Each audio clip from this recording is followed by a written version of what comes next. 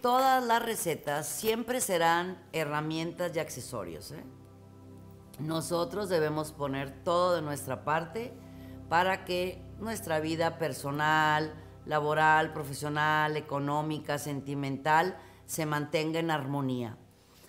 Que es buenísima, si es muy buena, y ustedes la pidieron, la receta de la papa.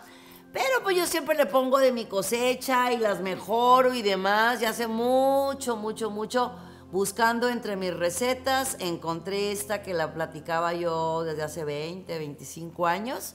Y con mucho gusto, a petición de ustedes, aquí está. Esta receta la vamos a hacer en luna llena, porque estamos hablando de cuestiones amorosas, ¿verdad? De cuestiones sentimentales. Entonces es luna llena. Vamos a necesitar una papa normal, la papa del supermercado, del mercado. Papa, papa, papa. Ahí está, papa. Un vaso de vidrio con agua. Una maceta con su tierra, por supuesto y un cuarzo rosa. Puedes también, si gustas, escribir tu deseo, tu petición y ponerlo aquí dentro de tu maceta. Eso ya es extra si tú quieres hacerlo. Escribes tu nombre, el de tu pareja y la petición que tú tienes, levantas un poquito la tierra y pones el papel ahí, que además es, pues, se va a, a fundir con la tierra. En luna llena yo voy a cargar cada uno de mis ingredientes. Lo que voy a hacer es muy sencillo. Voy a tomar la papa y la voy a poner aquí. Lo que yo quiero que suceda es que la papa empiece a echar raíces. Esto va a suceder entre dos y tres semanas, va a empezar a echar raíces la papa. ¿Ok?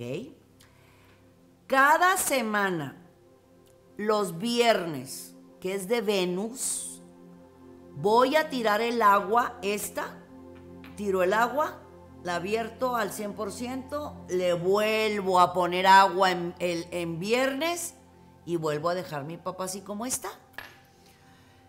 Yo voy a estar pensando en la abundancia amorosa, en cómo crece mi amor entre mi pareja.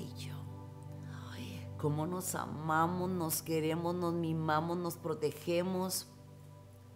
Hay que visualizar, hay que decretar.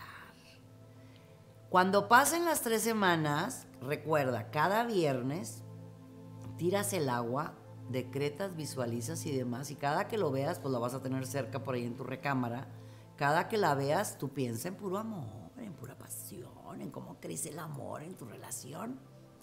Cuando ya veas que la papa ya sacó raíces, sacamos la papa del vaso, ya imagínatela con raíces aquí, la pones en tu maceta, la plantas bien, Ahí está, bien plantada, ¿ven? Ahí está bien plantadita. Bien plantada. Y le voy a agregar mi cuarzo rosa. Para el amor, para la unidad, para que crezca el amor en mi relación, se lo voy a poner aquí adentro. ¿Sí? Ahí se va a ver. ¿Ven? La papa, su cuarcito rosa y la vas a estar regando, por supuesto, pues cada dos o tres días, pero la vas a cuidar mucho. Porque así como crece esta papa, así como va a ir floreciendo y creciendo y echando raíces, así va a ir creciendo, floreciendo y echando raíces tu amor y el de tu pareja.